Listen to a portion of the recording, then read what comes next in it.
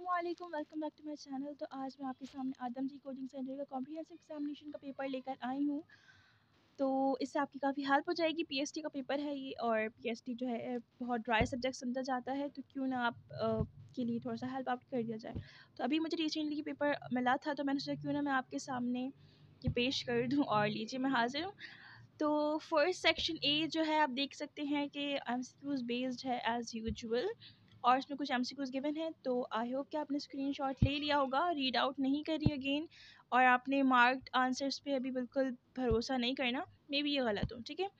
तो इससे रिलेटेड कोई प्रॉब्लम हो तो आप मुझसे पूछ सकते हैं, मैं रीड आउट इसलिए नहीं करी ताकि वीडियो जो है वो लंबी ना हो जाए, और आपको भी फटाफट जो है वो इसका अगला पार्ट मिल जाए, ये ना हो कहीं कि बहुत लंबी वीडियो हो जाए और आप बोर होकर चले जाएँ, ठीक है? तो मूव करते हैं हम सेकेंड पेज की तरफ़। सो so, ये इसका बकिया पार्ट है। बकिया एम सी क्यूज़ गिवन है। Total thirty M C Qs हैं इसके। ठीक है इसमें से मोस्ट मार्क क्वेश्चन जो है वो करेक्ट है। एक दो शायद गलत हो जाए मैंने अभी इसको सही से रीड आउट नहीं किया बट अभी जो मुझे दिख रहे हैं वो तो मुझे सही आंसर्स दिख रहे हैं इसके ठीक है? तो ये भी मुझे उम्मीद है कि आपने इसका भी स्क्रीनशॉट ले लिया होगा। तो चलें इसकी थ्योरी की पार्ट की तरफ़ मूव करते हैं फिर हम। और ये है section B section B total sixteen question given हैं।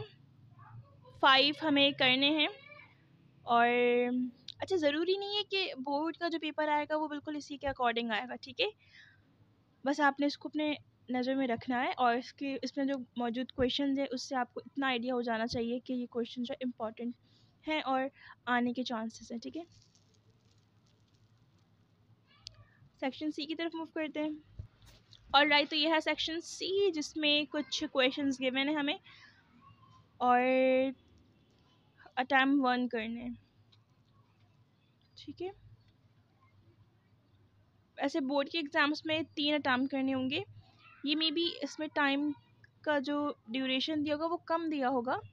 बट क्वांटिटी इन्होंने सही दी हुई है और अच्छा इसको आपने गैस पेपर के तौर पे यूज़ करना है। जो क्वेश्चंस गिवन है, क्या टैम वन, थ्री, इसको आपने टोटली नज़रअंदाज करना है। इसमें जो क्वेश्चंस गिवन है ना, उससे आपने हेल्प लेनी है, ठीक है? Thank you so much.